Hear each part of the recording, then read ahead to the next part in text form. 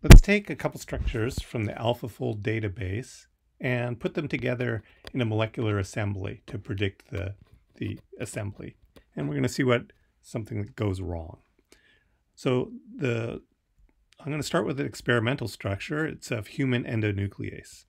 So its PDB is 2ZIX. Let's just, it's two chains. Color them.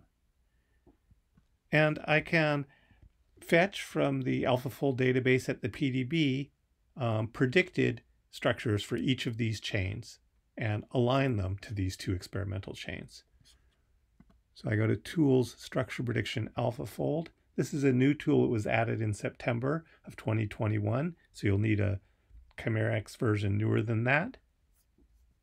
And I can choose the experimental structure number one and click fetch and it will get the two AlphaFold models.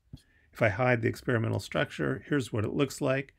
The AlphaFold uh, predictions are colored according to the confidence. Um, blue is high confidence, yellow and orange and red are lower confidence. Um, let's let's uh, recolor these, color this prediction. I'll press the coloring button. Let's color it gray for easier comparison to the experimental structure. show the experimental structure. Uh, to, to simplify this picture a bit, I'm going to color, um, or first let me change the helices to cylinders with the menu entry presets, cylinders, just to make it a little simpler. And let's let's hide um, let's hide chain B of the of the prediction and look focus just on chain A. Okay, so chain A is the purple one, is the experimental structure, and the, the white one is the AlphaFold model. And you can see that the, uh, the lower domain uh, has reasonable uh, agreement between the two, the experimental and predicted, but the upper domain is far from uh, the, the, is far from the correct.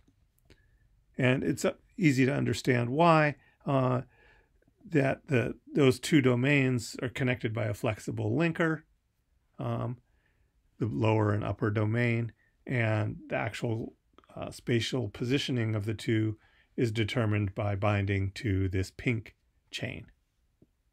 Uh, let me show you one more thing. Uh, there's a simple way to color the regions of the AlphaFold model that deviate far from the experimental structure. If I go to the coloring tool and I choose um, C alpha distance greater than three angstroms, maybe I increase that to five angstroms and press this red uh, button. Then the red region here are um, residues where the C alpha position is more than five angstroms away uh, between the prediction and the experimental model. So the domain below, not much red, but the domain above entirely in the wrong position.